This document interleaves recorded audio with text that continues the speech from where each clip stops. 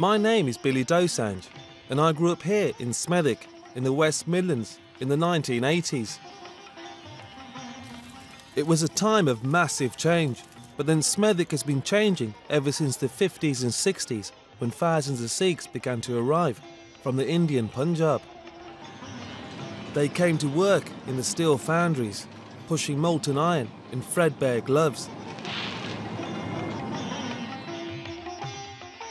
My family and its tight-knit community meant growing up here was much like growing up in a Sikh village that had been transplanted from the Punjab. That's me in the white t-shirt. When I was a boy, the Sikhs were the largest immigrant community in Smethwick, celebrating their traditions together. And weddings were a really big deal.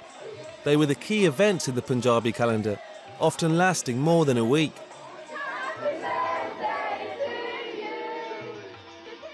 In the late 90s, I moved from the area and went to London to study but I haven't lost touch with the place of my childhood, and I've always been fascinated by the marriage of two traditions, British and Sikh. It's best expressed by what has happened to love and weddings, as many of the oldest traditions are kept alive, and others let go. This is the story of the Sikhs of Smethwick, past and present, told through two local weddings and the first generation of men who arrived here full of dreams and hopes of making their way in Britain.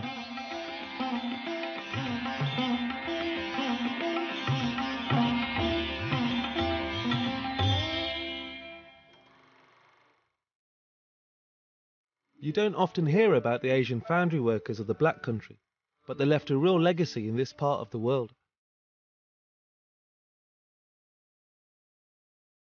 Before the women arrived, the men came over largely on their own.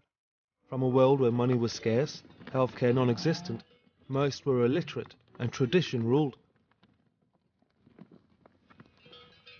Thousands left the Punjab in northern India in search of work.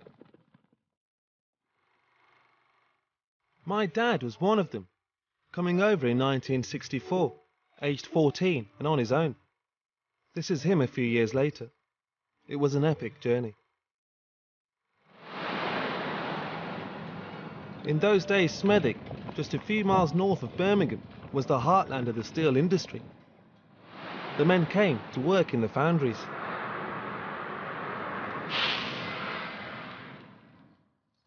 Manjit Uppal works in a local quarry. Every day, Manjit pops by to see his parents, who are now in their 80s. His dad, Karnail Uppal was one of the earliest foundry men.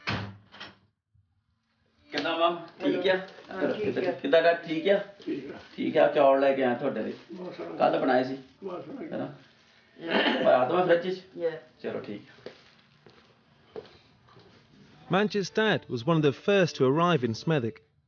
Lots of the early arrivals never learned even basic English, and to this day live in an isolated Punjabi bubble. ਜਦੋਂ ਤੁਸੀਂ ਆਏ ਸੀ India ਚੋਂ ਤੇ ਉਦੋਂ ਸਵੈਰਿਕ ਤੁਸੀਂ ਸਵੈਰਿਕ hands ਵਿੱਚ ਰਹਿੰਦੇ ਹੁੰਦੇ ਸੀ ਨਾ ਉਦੋਂ? ਸਮੈਰਿਕ ਆਪਣੇ ਪਿੰਡ ਦਾ ਮੁੰਡਾ ਇੱਕ ਰਹਿੰਦਾ ਹੁੰਦਾ ਸੀ। ਹਾਂ। ਤੇ ਉਹ ਤੇਰੇ ਬਾਬੇ ਤੋਂ ਪੈਸੇ ਲੈ ਕੇ ਆਈ ਥੋੜੇ ਜਿਹਾ ਉਹਨ- ਉਹਦੀ ਫਿਰ ਚਿੱਠੀ ਆਈ ਸੀ ਮੈਨੂੰ ਮੇਰੇ ਕੋਲ ਆਈ। ਜਦੋਂ ਤੁਸੀਂ ਇੰਡੀਆ ਚ ਆਏ ਸੀ ਹੂੰ। ਜਦੋਂ ਫਿਰ 10 ਸਾਲ ਬਾਅਦ ਫਿਰ ਤੇਰੀ ਕੀ ਸੋਚਣੀ ਸੀ ਮੈਂ ਇੱਥੇ ਰਹਿਣਾ ਜਾਂ ਮੈਂ ਮੁੜ ਕੇ ਇੰਡੀਆ ਜਾਣਾ? ਉਹ ਤਾਂ ਮੇਰੇ ਫਿਰ ਮੈਂ ਇੱਥੇ ਜਦ ਮੇਰਾ ਦਿਲ ਲੱਗ ਗਿਆ ਹੂੰ ਇੱਥੇ ਰਹਿ ਕੇ ਕੰਮ ਕਰਕੇ In the Smethwick area, 90 factories were crammed into five square miles, but the riches of the Black Country came at a cost.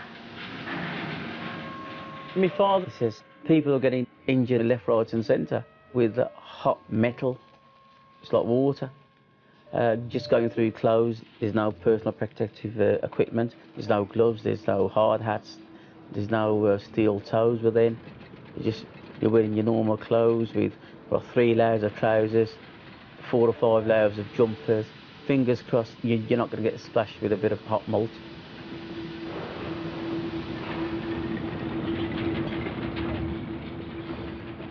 ਕੀ ਕੰਮ ਬਹੁਤ ਭਾਰਾ ਸੀ ਗੰਦਾ ਸੀ ਗੰਦਾ ਸੀ ਹੱਥ ਸਿੱਧੇ ਨਸੇ ਹੁੰਦੇ ਹੁੰਦੇ ਇੰਨੇ ਤੱਤੇ ਬਕਸੇ ਹੁੰਦੇ ਸੀ ਚੱਕਣੇ The hardship and danger of the work was a vivid backdrop to my childhood.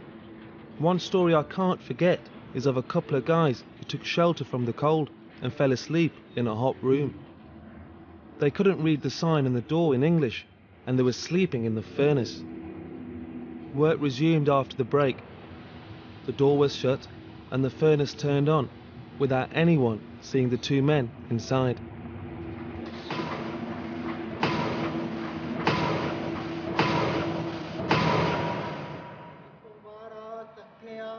My friend Balbir Pachangi works at one of the remaining steel factories in Smethwick. He's combined working in a factory since 1963 with being a Bhangra singer. That's a traditional storytelling troubadour of the Punjab.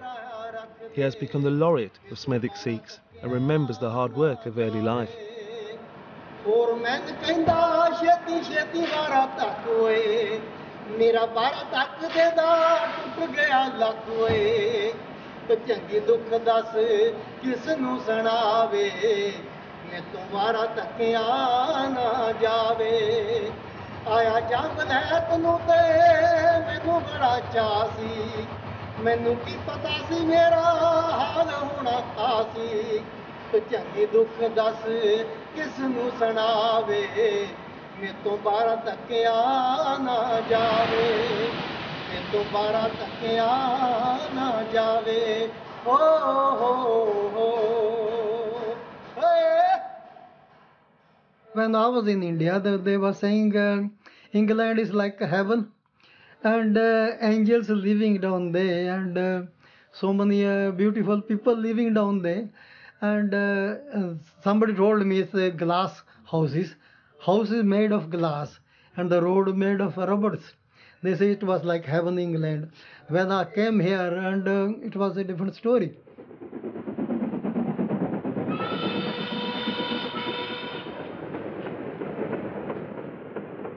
Smethwick is a real railway town. Nowadays, the areas round the tracks are derelict epitaphs to the Industrial Revolution. Today, the insular guts of the street communities are rotting away. Slum clearance has upset the generations, and to add to the feeling of insecurity, there has arrived an army of total strangers, immigrants. I was stunned by the archive I discovered of my hometown. It brought to life the poverty of the time, the harshness of the work, the isolation of the first Sikhs he couldn't integrate, and, of course, the racism that our arrival triggered. I think it's pretty awful. Uh, I think they should live uh, in a district all to themselves because I've got to bring this little boy up uh, amongst them. And um, th- they're not clean, and the smell of the cooking makes you feel sick. 74, 74. Some places were even out of bounds for non whites. Such were the concerns about the outsiders. Our duty is to the public to give them the bingo that they want. We advertise bingo at certain times, and therefore, come what may, we give them the bingo. Now listen carefully to this Indian's conversation with a white barber when he entered a saloon with a BBC radio microphone in his pocket. No, What's the matter? no, Is, uh, No. Eh, eh, eh, anything, anything wrong? yes. Boss, what is it? I said no. Would I like to know what is, the- what is the I'm matter? closed. I'm closed now. Just clear off. Look, if you give me any reason why, what is the matter, then I shall go. If you to tell me I told you I'm closed. you're not Yeah, close, you ain't Yeah. close, you ain't close yet. Well, I am to you. The English people, I would like to say they are very nice people. But indeed, one sometimes there are black sheep in every society. Sometimes some mischievous boy st- stands on the road, he starts hooting on the colored people. Hey, black, hey, black. Has any white man seen our colored people hooting on the English? Oh, white, oh, white. Never. This is Smethwick, near Birmingham. Coloured immigrants form one in ten of the population. And in 1964, tensions came to a head when a man regarded by many as a racist became the local MP in the general election. The news put Smethwick on the global map. Actually, what he says in the archive sounds to me remarkably similar to what some people are saying today, who are anti immigration but deny they are racist. Do you think you really will be able to fulfill an election promise to stop immigrants coming into Smethwick? Well, I haven't made an election promise to stop immigrants coming into Smethwick, of course. But uh, what I have said is this that I'm in favour of the most strict control of immigration uh, so that we make sure that uh, the immigrants who come in here do not create problems. Smethwick became the focus of wider community tensions in Britain. It was so notorious that American Black Panther and civil rights campaigner Malcolm X came on a fact finding mission. Though white citizens of Smethwick didn't mind the immigrants working in their old and dirty factories, few wanted to know about them socially. As coloureds moved into the four-roomed houses, white people found fault with their habits. They disliked their noise, smells, and above all, overcrowding. What the locals didn't realise was that most Sikhs could barely speak English. The majority were single men. You could call them peasants, straight from the fields of the Punjab. They had no women to look after them. I can see, looking at the archive, that for them, life was simply a matter of survival. Any thought of assimilating into the local community was out of the question then. Manjit Uppal, whose father had the same experiences, knows his stories well. My father lived in Smethwick, and uh, I sometimes ask him, I says, Dad, how was it? He says, How was what? I says, How did you live? He says, 10, 12, 15 people in one house. Men, all men. Uh, how did you live? How did you sleep? He says, Son, you don't want to know. It was hard. He says, We used to share beds. Half of them used to do night shifts, half day shifts. One lot will go disappear in the morning, the next lot will come in, and they'll sleep in the same bed. Yeah, everybody had his own duties cooking and cleaning, washing the linen. It was difficult, but they made it work. In 1967, the government passed the first Race Relations Act, but it needed more than the law to change people's attitudes on both sides. I think the Sikhs had to adapt too. And as time passed, even though many had failed to see it, moving to Britain began to change them. Richer from the work, they started to buy houses and became more established in Smethwick. They were like locals now, and so, at last, started to bring their womenfolk over. He is often forced to work very long hours in conditions that others would be reluctant to accept, both to pay high rents and to save the money necessary to bring his family to Britain. Many came as boys and returned to visit the Punjab as men. Moneyed men. Back into a culture where a month's pay in England was like a year's pay on the farm. This film from 1975 shows a Sikh man taking his schoolchild daughter to India to marry. Marriage was a great responsibility for the head of the home. The girl had no say, and as here, didn't even meet her future husband until the wedding. Here, the men negotiate the matchmaking deal. The fathers chose the partners for their children, quite different from the British custom of marrying for love.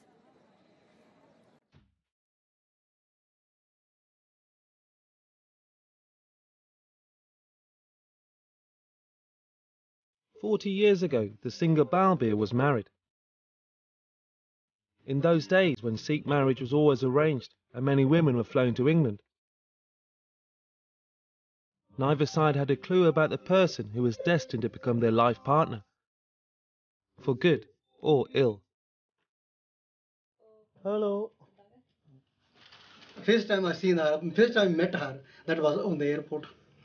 Uh, I didn't seen her face before. she, they showed me photo. They sent me the photo. I said, oh, she's all right. Then we met uh, first time on the airport. And then it was like arranged marriage on those days. It's not, uh, it wasn't a love marriage. You know, we didn't know what love marriage mean. So that's it. Since then, uh, nearly 40 year. Next year, 40 year, 40 year, 40 anniversary. when I 15, 16 years old in India, I think about a uh, singer. I was married who is the singer. So my uh, parents, um, you know, um, choose him.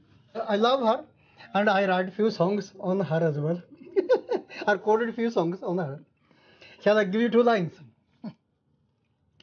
ਕਾਲੀਆਂ ਘਟਾਵਾਂ ਤੇਰੇ ਵਾਲ ਸੋਹਣੀਏ ਸਪਣੀ ਜੇ ਤੋਨੂੰ ਸੰਭਾਲ ਮੇਰੀ ਅੰਬੀਏ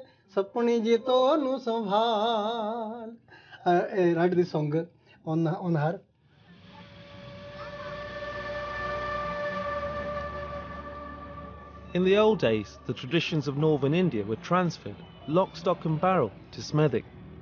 This is archive of a Punjabi Muslim wedding, arranged just like a Sikh marriage, with a go between matching the couple up across continents. My father said that uh, he told me what kind of girl I would prefer, and I told him what kind of He girl. told you what yeah. kind of girl you would prefer? Yeah, and I said that she must be sensible, intelligent, must be able to look after the house. What an overwhelming experience it must have been to travel 8,000 miles as a teen to a country you didn't understand. But what does she think of the weather?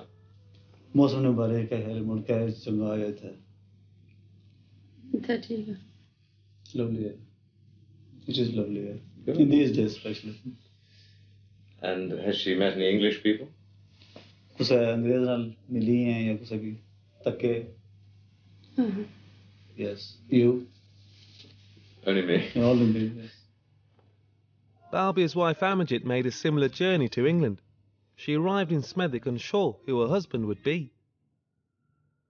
ਹਾਂ ਪਹਿਲੀ ਵਾਰ ਮਿਲਣਾ ਸੀਗਾ ਤੇ ਸਾਨੂੰ ਮੈਨੂੰ ਪਤਾ ਨਹੀਂ ਸੀ ਵੀ ਕਿੱਦਾਂ ਮੈਨੂੰ ਕਿੱਦਾਂ ਪਤਾ ਲੱਗੂ ਵੀ ਮੇਰਾ ਇਹ ਹਸਬੰਡ ਆ ਤੇ ਮੈਨੂੰ ਮਾਮ ਮੇਰੀ ਕਹਿੰਦੀ ਵੀ ਉਹ ਤਾਂ ਬਾਹਰ ਮੇਰੀ ਵੇਟ ਕਰਨੀ ਸੀ ਤਾਂ ਅੰਦਰ ਮੈਂ ਬੈਠਣਾ ਸੀ ਤੇ ਇਹਨਾਂ ਨੇ ਮੈਨੂੰ ਲੈਣ ਜਾਣਾ ਸੀ। ਮੈਂ ਕਿਹਾ ਕਿ- ਉਹ ਕਹਿੰਦੇ ਕਿੱਦਾਂ ਪਤਾ ਲੱਗੂ?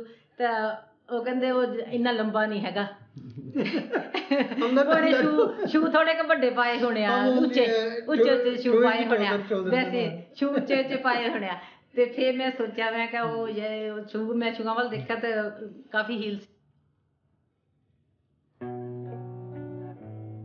Out of these traditional beginnings, there were often happy endings. Today, Pam Kaur is a successful primary school teacher. When only 16, Pam was expected to leave school to get married. In those days, tradition dictated that young Asians should wed in their teens. Pam grew up in the Punjab but was orphaned as a child and moved to England to live with her brother and his wife. I mean, my life was totally controlled by, by my brother and sister in law. I had no say in it. I finished school and um, that was it. My life was in the house. I wasn't allowed to go out or, or do anything. And, and I, I met a friend recently, uh, just about uh, three months back, and, and she said, they found it really strange because one minute I was in school, next minute I was gone, and, and it was like I just disappeared. As soon as I finished school, that was the end of my friends. I never saw them or met them again. For Pam, her wedding is still a vivid, if traumatic, memory. She was part of a tradition where it was typical for women to be told whom and when to marry.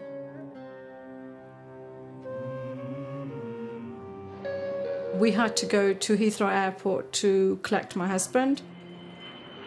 They called over the antenna, um, can Palmdick call, please come in to collect blah, blah, blah. And um, I remember thinking, oh my God, how do I recognise him? Because I wasn't even allowed to see a picture of him. You know, I didn't know what he looked like. You know, he could have been anybody.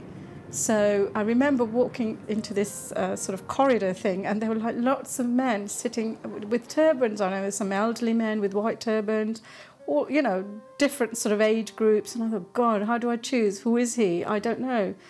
And uh, then somebody in the distance sort of stood up and waved at me, and he had a, a brilliant smile, and I didn't even know what he looked like. All I saw was the teeth, you know. And um, he obviously must have recognised me. I, I didn't know what he looked like, so I went over to him, and he said, "It's me." um, I, I picked the right one. I remember the day I got married, and I, I think I was quite sort of scared. And I, I made a vow with myself that day. I made a vow with my God, and I said that if my life was anything like my childhood and teenage years had been, I was going to commit suicide because no way was I going to live um, sort of um, the suppressed life that I'd lived uh, as a youngster. But the arranged marriage, surprisingly to me, offered Pam an escape from the virtual imprisonment of her childhood. My husband, he, he was he was a wonderful guy. He was very caring, and I, I can I can honestly say that he made me the person I am today. In 2009, Pam's husband died, leaving her a single mum. Her daughter Sonia was born in 1983, which puts her in the same age bracket as me. And like me, she's a thoroughly modern second generation British Sikh. Sonia works at the Prince's Trust. She's getting married in a few weeks. My parents barely knew each other before they got married, and I think today there isn't that pressure that you know you're meeting this person, you have to marry them. It's more of an introduction, you know, um, get to know this person. If it works, it works, and if it doesn't, it doesn't. And I think taking away that pressure has been a massive impact on arranged marriages. Sonia's marriage is everything her mother's was not a modern love story for a modern British Sikh woman. For me, the change across two generations is astonishing. Thinking of Sonia's mum Pam at 16, like so many other local mothers, marrying a man she'd barely met, and of Sonia marrying for love. Centuries of tradition have been thrown over in the blink of an eye.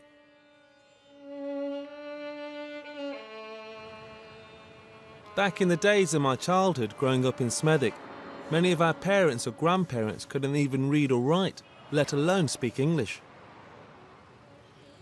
Most of us local kids had to fulfill multiple roles if our families were to survive. When my father uh, came in the early days, he's been here um, 60 years plus.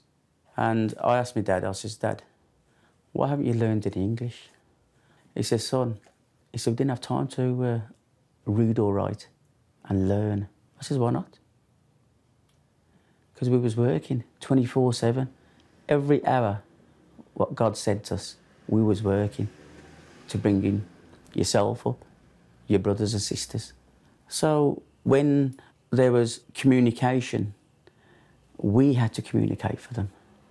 Take them to the doctors, take them to the medical centres, the hospitals, uh, issues with taxation, anything and everything. When the phone rang, we used to translate. It was difficult because of the, um, the terminology. We was young, we was still growing up. My mum had the same challenge and spoke even less English than the men who worked.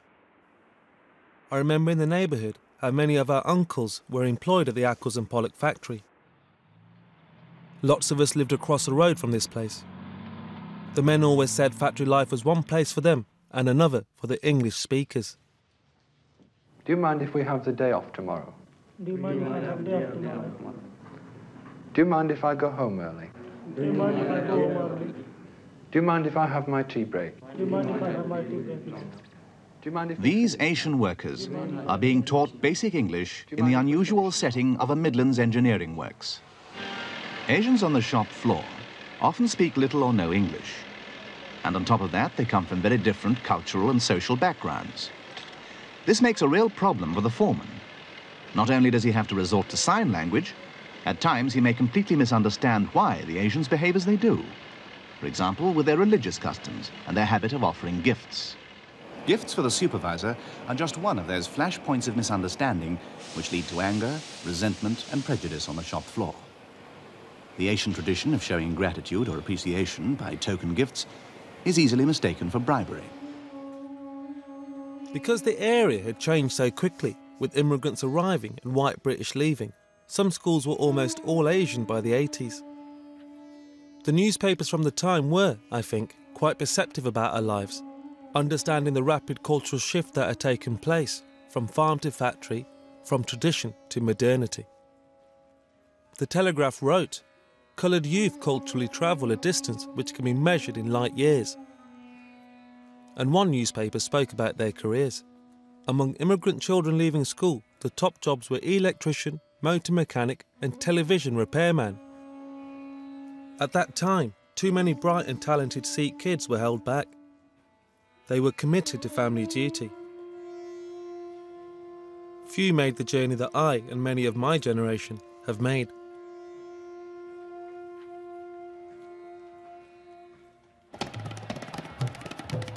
And because our community stuck together, there was suspicion of outsiders, and girls were often kept at home.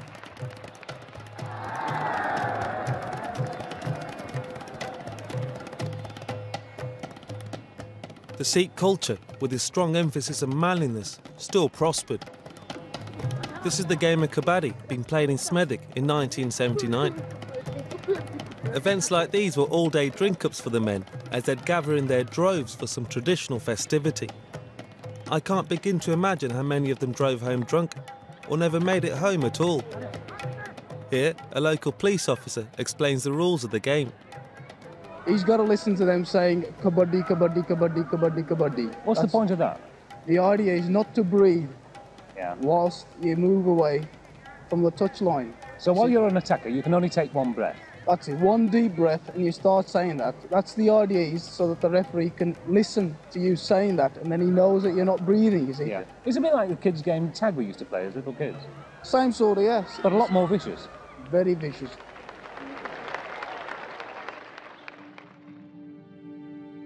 As we've seen, the Sikhs had originally come to Smethwick to work in the steel foundries of the Black Country. But in the early 1980s, many foundries were swept away forever by the deep recession in manufacturing.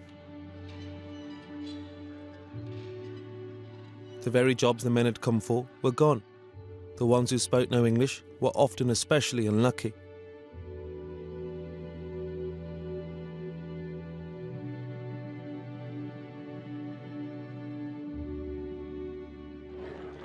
The drinks they'd enjoyed in the pub became an escape.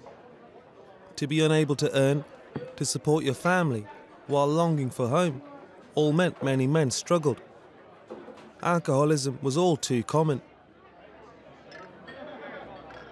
मुल्ला मुझे पीने दे मस्जिद में बैठ करे जा वो जगह बता दे जहाँ पे खुदा नहीं मैंने माना जनाब पीता हूँ होके खाना खराब पीता हूँ लोग लोगों का खून पीते हैं मैं तो फिर भी शराब पीता हूँ ਠੇਕੇ ਦੀ ਪੀ ਪੀ ਥੱਕ ਗਏ ਅਸੀਂ ਦੇਸੀ ਪੀ ਪੀ ਅੱਗ ਗਏ ਹੁਣ ਤੇ ਪੀਣੀਆਂ ਵਲੈਤੀ ਮੈਂ ਤੇ ਪੀਣੀਆਂ ਬਈ ਮੈਂ ਤੇ ਪੀਣੀਆਂ ਵਲੈਤੀ ਮੈਂ ਤੇ ਪੀਣੀਆਂ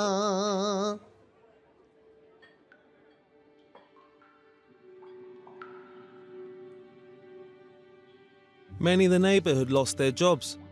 Those who could began to make their own work. Some men on the markets, my father one of them, flogging jeans around the country, and others with small shops or as taxi drivers.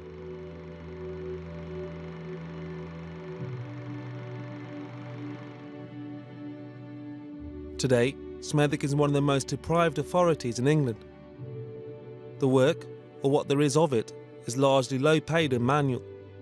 It was this that gave me the impetus to leave.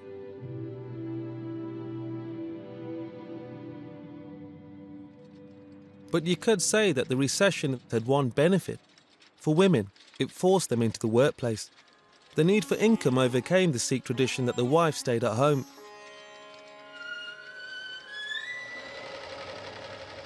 When we started first, I thought, well, they can surely be trained. They are not doing nothing at home, you know, just idling away their time.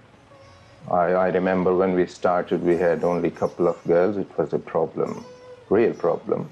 They were not used to working. So once they got the knack of it, now you can see yourself in the factory, you know, how skilled they are and how happy they are. But happiness wasn't for everyone. The recession and the changes it brought our neighbourhood led to some tragic stories. My friend Dallas' dad was a hard worker, but also really stubborn. He lost his job at the foundry, but couldn't kick his gambling habit. He and his wife lived with us for a while as she worked in the sewing factory to save money for her house. Dallas' dad couldn't face the shame of his wife working, his kids becoming British, and his sense of personal failure. He lost his self respect and drank more and more until finally no one knew what to do with him.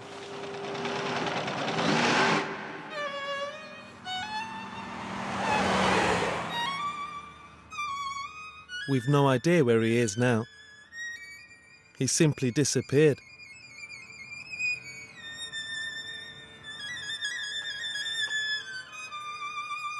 But for the second generation, who had been forced to adapt and assimilate through school and work, things were, I think, getting better.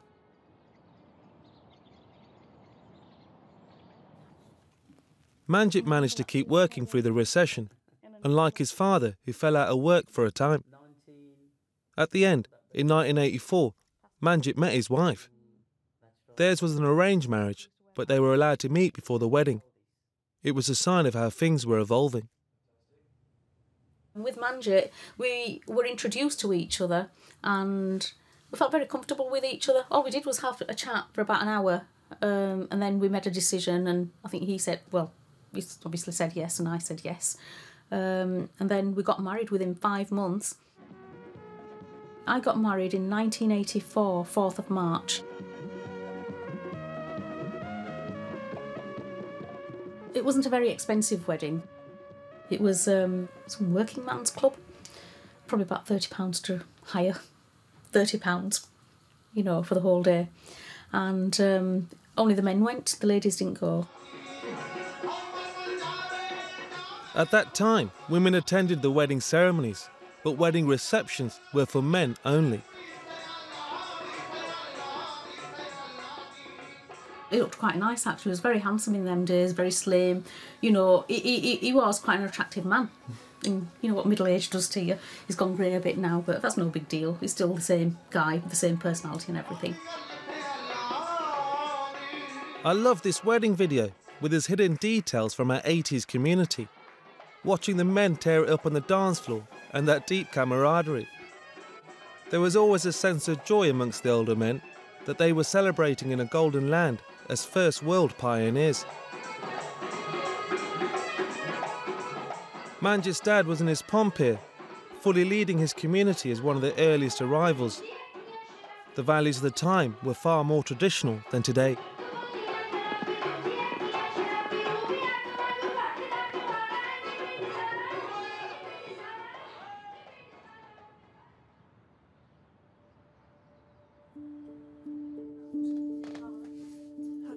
Manjit and Slinda's daughter Anita is third generation. She's a successful college trained beautician and is marrying for love, but is a match with a man who her parents have known and approved of for years. For me, it seems a good way forward keeping some of the old and building in the new.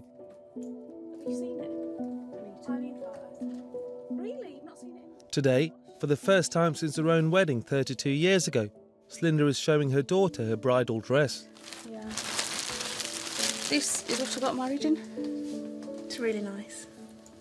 I thought you said you'd think it was old fashioned. nice. Look at that. Hmm. Like Slinder before her, Anita will be following the Sikh tradition and moving to live with the groom's parents. Do you ever get married in something like that? Or is it still not good enough for your these days taste? It's beautiful, but it's not something I'd wear on my wedding day. No, but it's still wedding day, really but beautiful. yeah, it is, It's isn't really it? nice. Yeah. It's like a timeless classic piece. She designed hers. I just hoped for the best. I really did, honestly. Can you imagine what it must have felt like, Anita? Finding out the night before what you're going to wear. No way. How are you going to feel when she leaves the house? Uh, I've no idea how I'll. Well, I'm looking no forward to the idea. You space. must have some sort of an idea. Well, a little bit of that. I'm looking forward to the space. She does have a lot of stuff, a lot of stuff. As in, as you can see in this room, it's not all wedding stuff. This isn't all my stuff. Well, a lot of it is wedding stuff.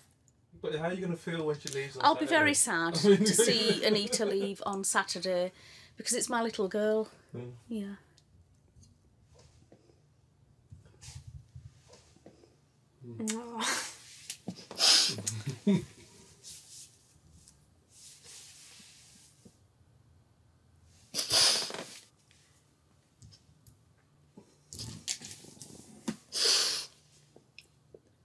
Yeah, I'll be very sad to leave, see her leaving.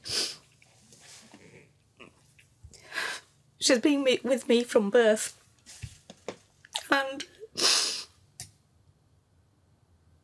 she'll be just leaving our family to join another family and start a new life with them.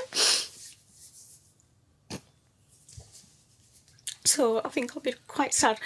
But I am happy she's not really going abroad or, you know, far away. I'm only 20 minutes down the road though. Yeah, I know, but still. Like I'm still part of the family. Today's younger generation see Smethwick as their home, not the Punjab, and regard themselves as British first, not Punjabi. But it doesn't mean they kick away their Sikh identity and its rich culture. Far from it. This is the singer Balbir's daughter Parvinder. So let's practice. So on the Bhangra freestyle, make sure you're always smiling. She's as keen as her dad to preserve the music of her forefathers. All right, I'll click you in. One, two, three, go.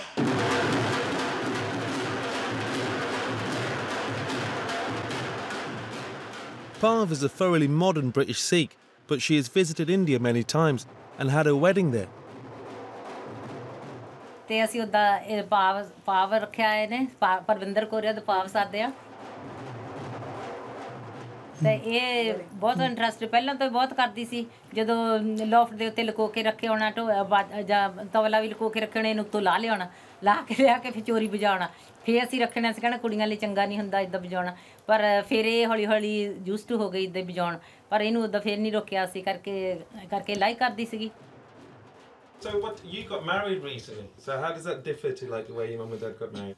Um, obviously, they're, you know, ha- having not met and only seen her picture and obviously seen her at the airport, you say that to our generation kids, and we're just like, so you didn't text or you didn't FaceTime? but um, I think those days were totally different. Um, I was quite fortunate to meet my husband, you know, through work, and um, we've got both similar kind of interests and hobbies and personalities, and those those kind of things most likely they probably wouldn't have known until they got married. And we try and find a connection before we get married. And Parv's right. Modern matchmaking is a world away from matrimony 40 years ago.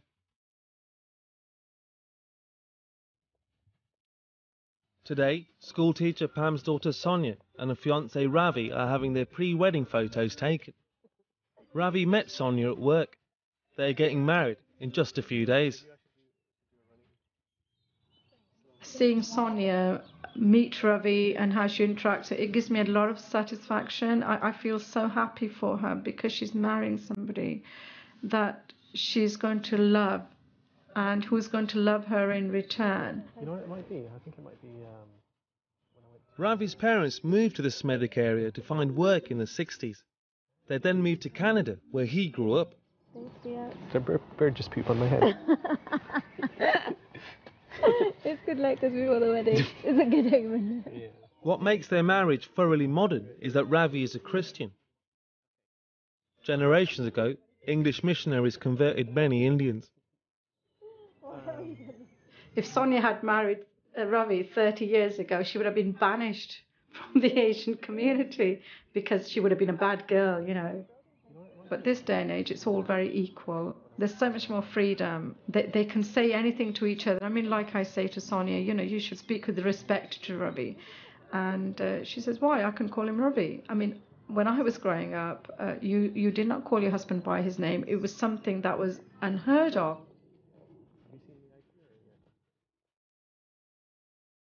In this community, it's still unusual for a Sikh girl to marry a non-Sikh. Sonia is bucking that trend, aiming to have two ceremonies for two separate faiths. I think we're both fortunate to be having both our faiths represented on the day. Some will have never been to a gurdwara, and I'd imagine there'll be some that have not been inside a church or a cathedral. Mixed marriages are still controversial for British Sikhs, as they are in other faiths.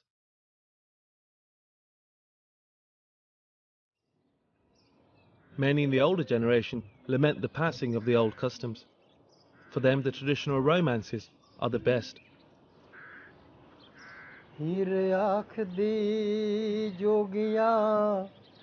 ਝੂਠ वे केड़ा हर उठड़े यार मनाम दा वे ऐसा कोई न डिठा मैं ढूंढ थकी Here, at the Punjab Garden allotments in Smedic, many of the first generation have,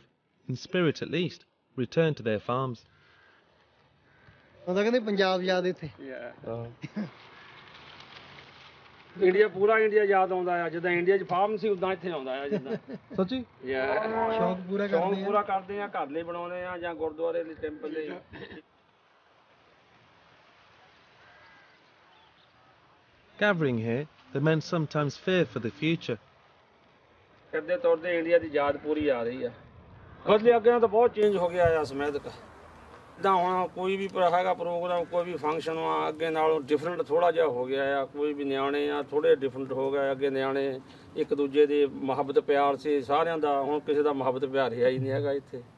ਤੇ ਜਿਹੜੀ ਲਾਈਫ ਆ ਉਹ ਬਹੁਤ ਚੇਂਜ ਹੋ ਗਈ Fast ਹੋ ਗਈ। ਫਾਸਟ ਹੋ ਗਈ ਜ਼ਿਆਦਾ ਲਾਈਫ ਫਾਸਟ ਹੋ ਗਈ। ਅੱਗੇ ਕੰਮ ਕਰਦੇ ਅੱਗੇ ਸੀਗੇ ਕੰਮ ਕਰਦੇ ਸੀ ਕੁਝ ਵੀ ਆ ਸਾਰੀਆਂ ਫੈਮਲੀਆਂ ਜੁਆਇੰਟ ਇਕੱਠੀਆਂ ਰਹਿੰਦੀਆਂ ਸੀਗੀਆਂ। ਇੱਕੋ ਪਰਿਵਾਰ ਇੱਕੋ ਹੀ ਰਹਿਣਾ ਪਰਿਵਾਰ ਰਹਿੰਦਾ ਸੀ ਸਾਰਾ ਪਰਿਵਾਰ ਦੇ ਵਿੱਚ ਇੱਕ ਸੀ। ਹੁਣ ਕੋਈ ਪਰਿਵਾਰ ਨਾਲ ਕੋਈ ਦੇ- ਰਹਿ ਕੇ ਖੁਸ਼ ਨਹੀਂ।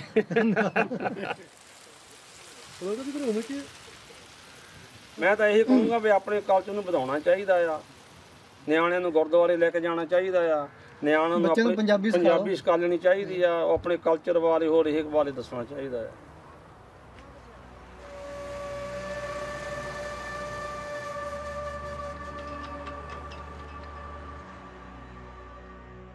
But one custom that hasn't changed is the woman's family still paying for the wedding. In the early 90s, my female cousin moved in with us from India before she got married. We were a family of seven living in a two bedroom house. You couldn't say we had cash, but somehow, at a duty, my dad found the money to pay for it all. As we pushed the car away, we pushed our cousin into a new life in Southall.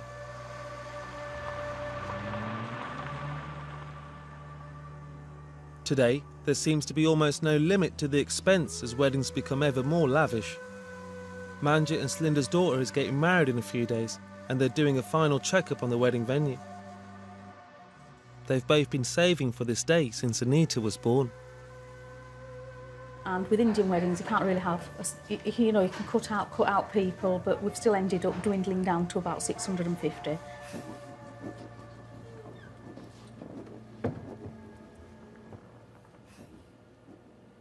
Our uh, English friends are absolutely amazed. How the hell are you going to cater for so many people? I mean, six, seven, eight hundred people nowadays is just a drop in the ocean. It's, it's just like, so what, so to speak. But if a family or parents have got simple menial jobs, 95 jobs, a basic minimum wage, uh, it's, it, it's a very big financial burden on these families. I've, I've known families to remortgage houses to fund their children's weddings.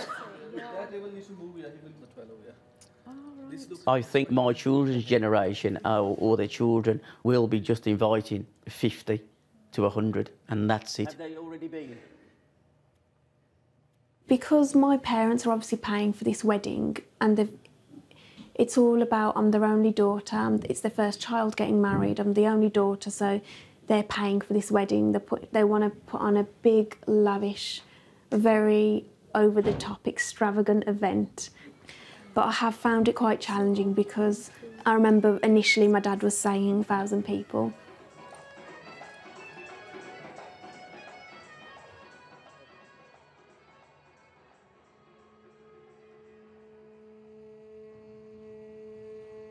For many Sikhs, weddings are a ceremony with rituals to perform, not all of which are well understood. Surprisingly, today, it's often the young third generation Sikhs who seem most committed to sticking to the old ways. At the local temple, Anita and her fiance Uman get a tutorial on what the ceremonies actually mean from two guys my age who are practicing Sikhs. You guys have got that that knowledge of why you're doing this stuff. There's a lot of people that come here they don't know. So they don't feel the connection. So when they go away from it, it's just a routine. Because our parents told us to do it and it looks nice on the pictures and it's just tradition. We do this is how we get married. Even my parents don't know everything. Well, they don't know any of this stuff that you've told me. So it's nice to actually know the meaning behind everything. Yeah. This day and age, when we talk about fourth generation, a lot of people are Sunday Sikhs. So they come to the God, Matha tek, put their money in the gold and go and eat langar and that's it. Uh, back in the day when we were growing up, we used to spend like, because there weren't no shops open on Sunday, so we used to spend all day Sunday. So we were still Sunday Sikhs, but we used to spend all day here. And I'm playing here, doing whatever, do, if you could do seva.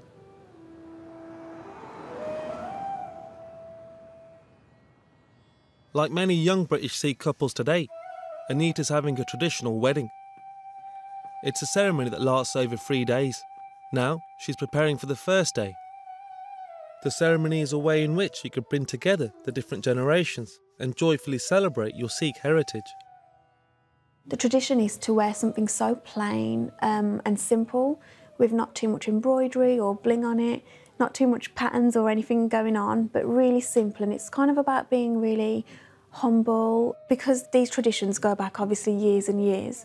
It's about being just quite simple. On the run up to the wedding, you don't really wear any makeup, you're quite stripped back, um, especially the events following up to the wedding.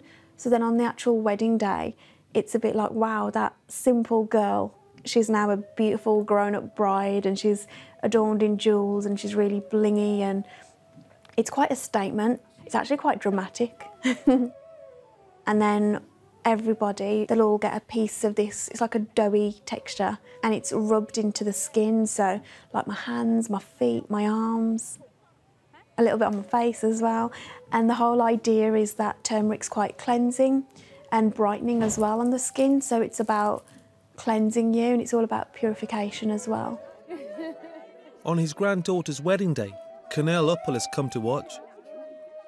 He might be Anita's granddad, but in terms of lifestyles, they are poles apart. Within two generations, they've gone from a simple farming family to a modern British one. But weddings like this show the past is not forgotten. ਹੌਲੀ ਹੌਲੀ ਬਦਲਣਗੇ ਜਦੋਂ ਹੁਣ ਅਸੀਂ ਅਸੀਂ ਚਲੇ ਜਾਣਾ ਆ ਇੱਥੋਂ ਇਹ ਧਰਤੀ ਤੋਂ ਵੀ ਨਿਆਣੇ ਜਿਹੜੇ ਆ ਜਿਹੜੇ ਮੇਰੇ ਪੋਤੇ ਆ ਪੋਤੀਆਂ ਆ ਉਹਨੀ ਥੋੜੋ ਰਸਮਾਂ ਇਦਾਂ ਕਰਦੀਆਂ ਖਰਿਆ ਕਰਨੀਆਂ ਖਰੇ ਜੇ ਕੀਤੀਆਂ ਕਿਸੇ ਨੇ ਕਦੇ ਨੇ ਕਰ ਲਈ ਕਿਸੇ ਨਾ ਇੰਨੀਆਂ ਨਹੀਂ I think the traditions are very important to me because they get lost as time goes on. And as a child, I've seen these traditions, although I've not understood them very well. Um, but I think if I don't do these traditions, they'll end up getting watered down and lost. Another threat to tradition is the gradual merging of Sikhs into the wider population. Many Sikhs of Smethwick, like me, are moving away. We can't bring the old time back. We used to have just uh, Punjabi people in the Smethwick. Then a uh, lot of uh, come from Pakistan, and uh, it's uh, like mixed mixed culture now. Recently, we had a lot of people from Europe. They're finding bit difficulty speaking speaking English. That's the one uh, difficulty for them. Second one is the finding job. The people who want to job, they can get job there are so so many hard jobs like night shift and uh, evening shift. Uh, the the jobs there people don't want to do it. You have to do them, but that's the only way you can uh, survive. Smethwick is, for now, still a place for Punjabi weddings. Balbir and his daughter Parv have been invited to Anita's Jago. We've got the pre-wedding party and it's called like the Jago ceremony and um, that is, the tradition is where it's my mum's family. It's pretty much their party for me.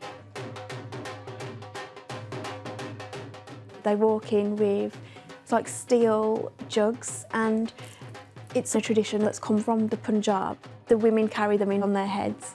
They've got little candle lights on top And in India, they actually go around the villages, they wake up all the neighbours and they sing and dance and they twirl around with these big jugs on their head. And it usually happens in the night as well. That's why there's candles on the on top of those big jugs.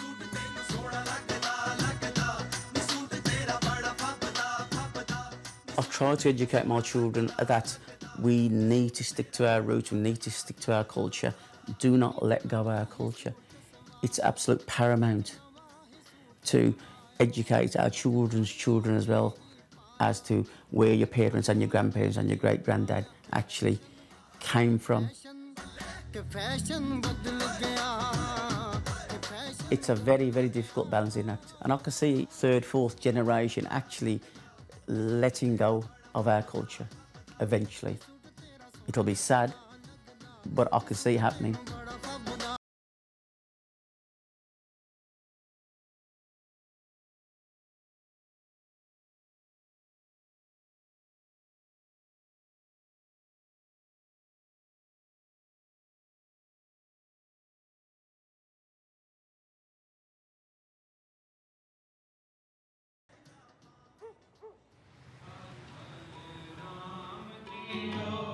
It's the morning of Anita and Uman's wedding.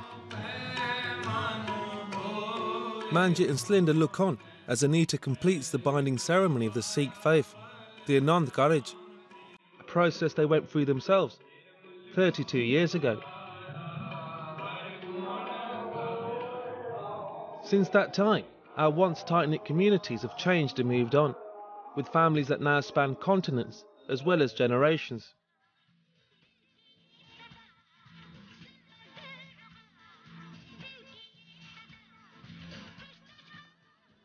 When you grew up in a Punjabi world, life was simple, with its unchanging rituals and rules for everything from food to marriage. Of course, it's a challenge to adjust to the seeming anarchy of life here. Families start off clinging to India and only slowly accept they are British. It's not been an easy process.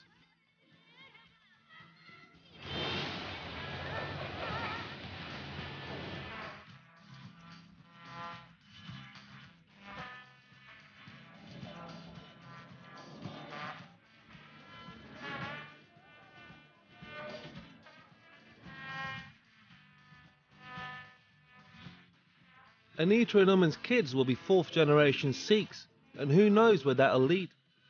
Will they try to preserve the traditions that make the Sikhs the people they are? Or will our customs be swept away by the modern world?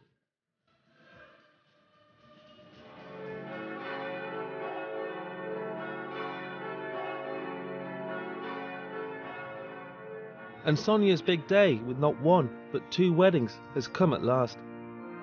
It's taken months of planning with the Anglican Cathedral and negotiating with the Sikh temple. Sonia and Ravi have challenged tradition in a very British way. Sonia and Ravi have given their consent and made their marriage vows to each other. They have declared. I didn't want my kids to experience what I'd experienced as a child. You know, I wanted them to know that they were trusted and that they were loved and that I, you know, I wanted them to have a life. I didn't want to control their lives. And I think by doing that, they've become sensible, intellectual young adults. I therefore proclaim that they are husband and wife. Would you like to congratulate them?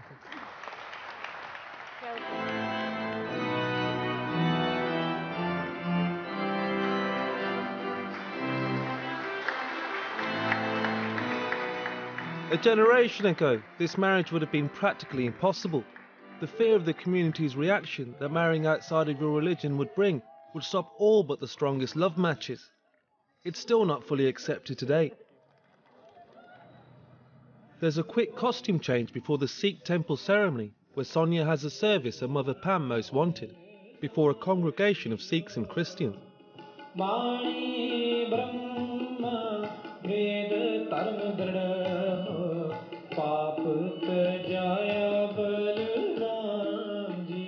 they walk around the Guru Granth Sahib, the Sikh Holy Bible, four times to be pronounced man and wife in the eyes of the faith.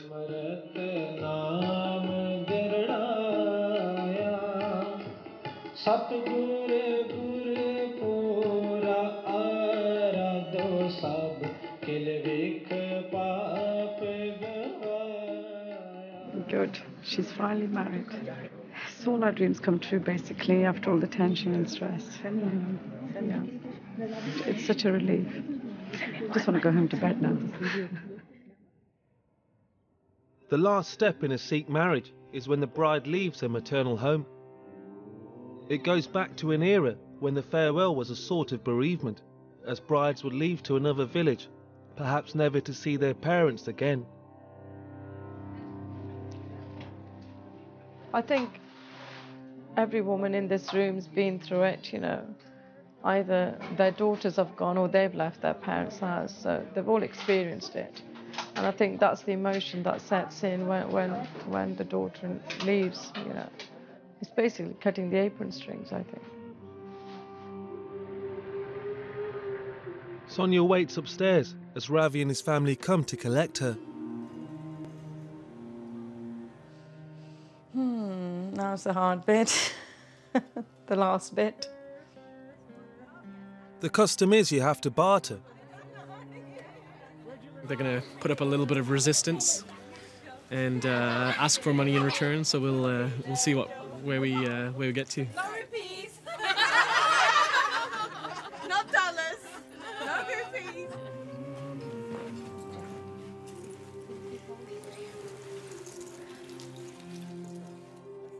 After a sum is agreed, Ravi is allowed in.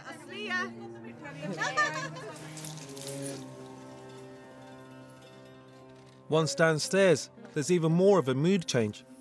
The final realization the bride is leaving dawns heavily on her family.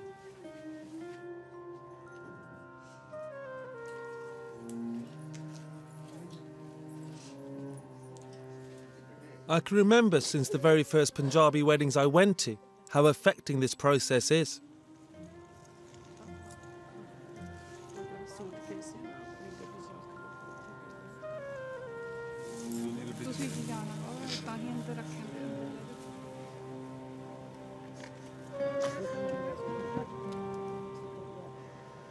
Sonia is only going a few miles down the road, but just like my parents' generation leaving the Punjab for Britain, marriage has always been a rite of passage of both loss and gain.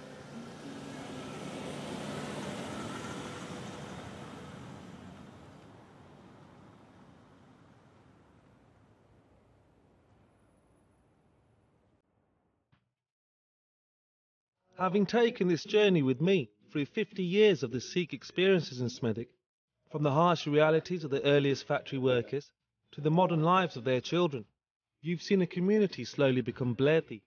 That's Punjabi for English. We're all Bledhi now. And watching the traditions get passed down and adapted, it's clear this town's history is part of me. And yes, I'll probably even marry here.